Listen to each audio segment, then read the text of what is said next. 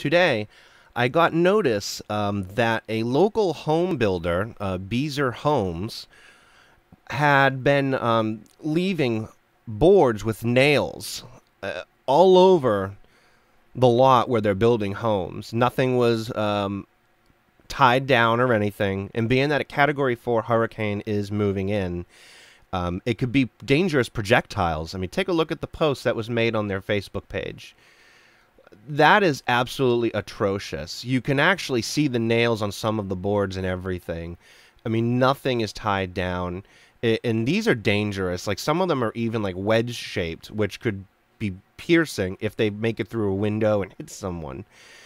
Some of the answers that I, some of the uh, people were calling in and they were being told by Beazer Homes that it's an act of God. There's nothing they can do and they're not going to make it right because they're not going to send anyone out. Well, let's go over this little part. I called Beazer Homes, informing them that the call is being recorded for news related purposes. Why don't you listen to how the calls went? Okay? Good afternoon, Beazer National Call Center. This is Chrissy. May I help you? Hi, this is Brandon McEachran. Um, first thing I just want to let you know this call is being recorded for news related purposes. Are you guys aware that on Mitchell Creek you have left boards with nails in them when a Category 4 hurricane is about to be striking us? Okay, so this is the, the Beazer Home National Call Center.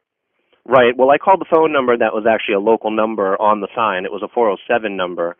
Um, basically, we're about to have a hurricane hit us, and you guys have left um, boards with nails in them just sitting around. They will become projectiles. Does Beazer Homes have any intentions to remedy this right away? That, sir, I do not know. You don't know. Okay, thank you.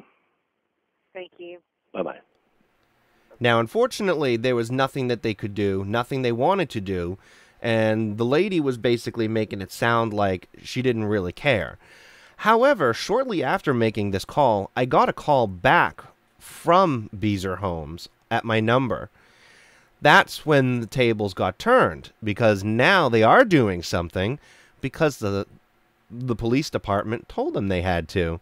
It's kind of funny when the police department has to get involved and tell them what they need to do, but it's very clear that Beazer Homes doesn't really care about your safety if the police department have to tell them how to keep these things safe.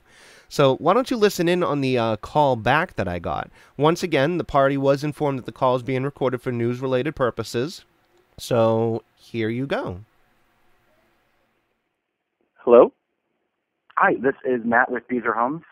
Hi, this is Brandon McEachran. Um, I just want to let you know right away that this call is being recorded for news-related uh, in uh, news-related situation. Are you aware that on Mitchell Creek, um, with Beazer Homes, uh, looks like uh, that is developing the community there. You guys have left uh, lots of boards with nails in them that will become projectiles when the Category Four hurricane I, hits. Yep, my I, I just got a phone call from the sheriff's department, and my builder is out there taking care of it. They are taking care of it. Okay, thank you very much. That's what I'd like to hear. Okay. All right, bye bye.